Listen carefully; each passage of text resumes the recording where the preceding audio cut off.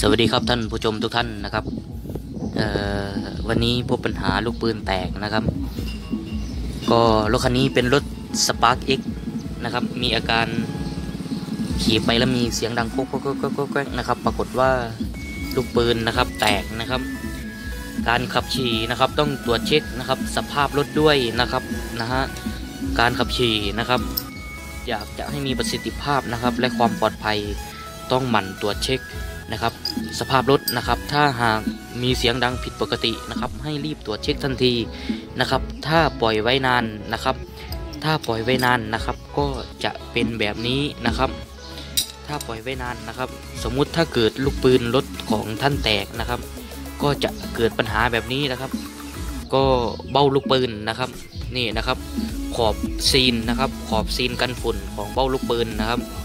มันแตกนะครับ เนื่องจาก เมื่อลูกปืนเมื่อลูกปืนแตกนะครับ มันจะทำให้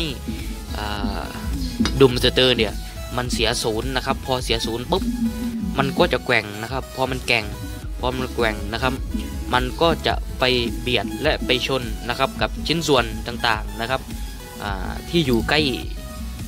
ดุมสเตอร์มากที่สุดนะครับ มันจะไปเบียดและไปชนนะครับ ตัวนี้นะครับ สาเหตุนะครับ ก็พบเสียงดังนะครับ ตรงที่ลูกปืนแตกนะครับ แตกไม่พอนะครับ ลูกปืนแตกไม่พอนะครับ ดุมนะครับ แตกด้วยนะครับ ตัวนี้นะครับก็สามารถใส่ลูกปืนเข้าไปได้นะครับแล้วก็ยังใช้ได้อยู่นะครับ ก็นะครับล่องลูกปืนจะอยู่ข้างในนะครับล่องล่องลูกปืนนะครับ จะอยู่อยู่ข้างในนี้นะครับนี่นะครับ ก็มันยังเหลือยังเหลือล่องลูกปืนให้ใส่ได้อยู่นะครับ ส่วนล่องซีนนะครับ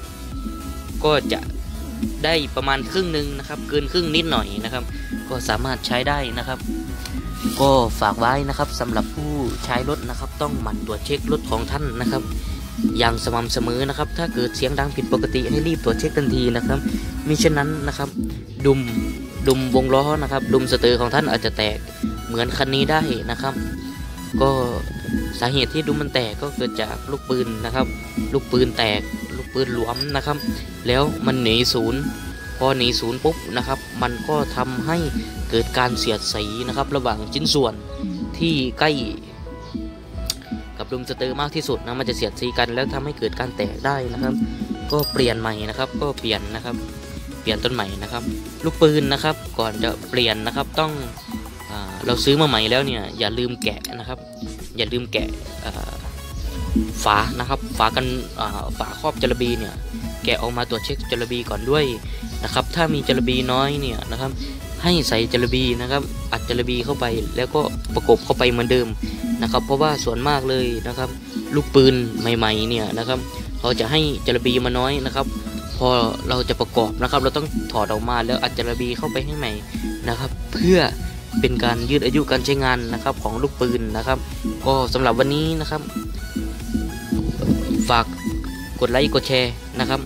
กด subscribe ให้ด้วยนะครับ ติดตามชมคลิปต่อไปนะครับ ขอบคุณครับ